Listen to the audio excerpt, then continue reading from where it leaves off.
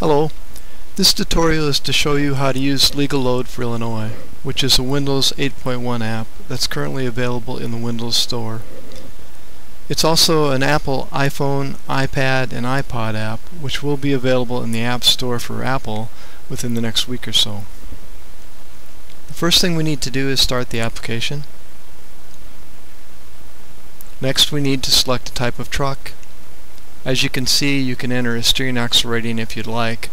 However, Illinois doesn't consider the steering axle rating, so we don't really need to put it in. If you do, it won't affect the analysis. Today we'll select a 4-axle straight truck. We're then given an opportunity to select specific criteria for the truck if we'd like. If we leave it at the default setting, then none is selected. Today we'll select a garbage truck with a roll-off container. Close that. Next we need to put in the information for each axle. We do that by clicking on the axle. Again there's some information here that Illinois does not need to do an analysis and they don't need the axle type. They don't care about the number of wheels on an axle or the tire width. They do care about the bridge, however it doesn't apply to the steering axle. And we will put in weights today. You can see that you can put in the driver's or the passenger side separately, which is great if you're using wheel load scales like pad scales or something like that. Or you can put in the total weight of the axle. A nice convenience is that we can put in one weight for the axle. We'll do that here today. Let's put about 58 and then we can divide it with the next how many axles we'd like to to the right. And uh, we'll do that with all three of them uh, as you can see if you enter more it'll default to the number of axles that are actually there. So then we save the axle. Move on to the next axle. And we'll put in a distance here for the bridge. Let's make it 17 feet. 6 inches Leave everything else the same here. Move on to the next axle. We'll leave all the information the same. The next axle, I'm going to add a couple inches to the bridge. And the reason being is that it's interesting, but Illinois does not consider a triple axle group to be a triple axle group unless there's more than 8 feet. So if it has 8 feet or less, it's considered to be a tandem. We'll save that.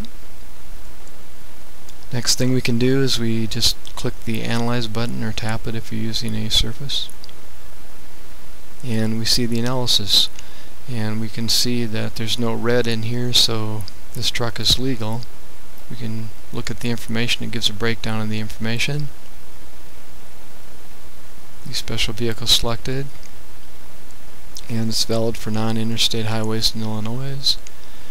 It gives the information about this specific uh, special vehicle that we selected and overweight violations. If we close that, then we can uh, click on the non-interstate button or tap on it and it changes to interstate and we see what this analysis looks like if the truck is operated on the interstate. We see that there's a problem here, it's in red if we show the information we get pretty much the same information except uh, the analysis is now valid for interstate highways in Illinois.